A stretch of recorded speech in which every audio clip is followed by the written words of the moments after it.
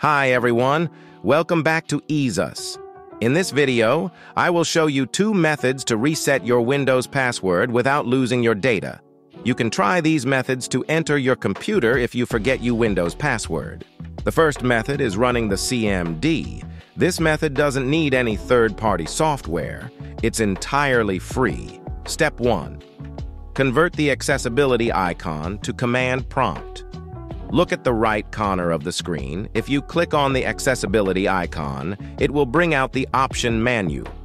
We're going to convert this icon to let it bring out the command prompt. So, hold and press the Shift key and click on the power icon, and then click on Restart. Click on Restart anyway. A few seconds later, your computer will enter the Windows recovery page. Then go to Troubleshoot. Advanced Options, Command Prompt. Enter the following command. You can find all the commands we use in this video in description down below. Enter Exit after finishing the command to close the prompt and click on Continue. After returning to the login page, click on the accessibility icon. You will find it brings out the command prompt. This is where we reset the password and enter the computer. Enter Control, user passwords 2, and hit the Enter key.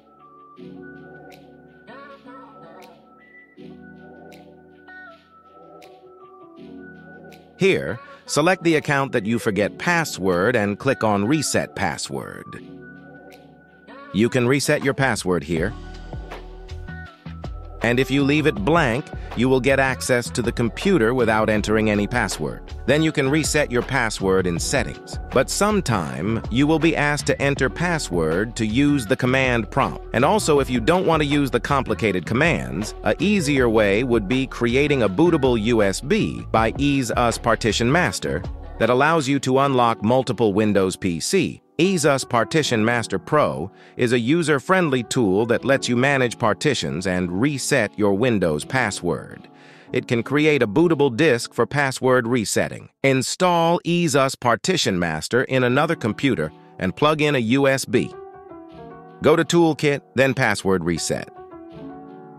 Click on Create.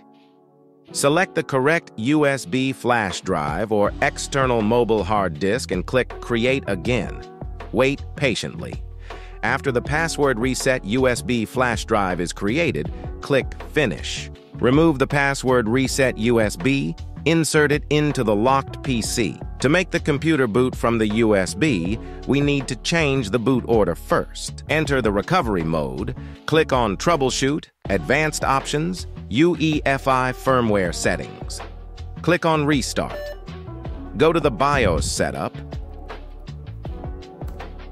Usually you will see a BIOS menu like this, and you can also get access to this menu by press certain keys when your start Windows depends on the PC you use. It's usually F2, F8, or F9. Then go to Advanced, Boot option. Scroll to the end to find the boot order. Then prioritize the USB. Press ESC to exit the menu. Click on Yes to save the changes and the computer will restart. Wait for a few seconds until EaseUs Partition Master shows up. Then click on Toolkit Password Reset. Select the account and click on Reset and App Unlock. Confirm. Then, the password of chosen account will be erased. Click on Close, and the computer will restart. Press F9 repeatedly at the Start page until Entering Boot menu shows up. Find the boot order and prioritize Windows Boot Manager.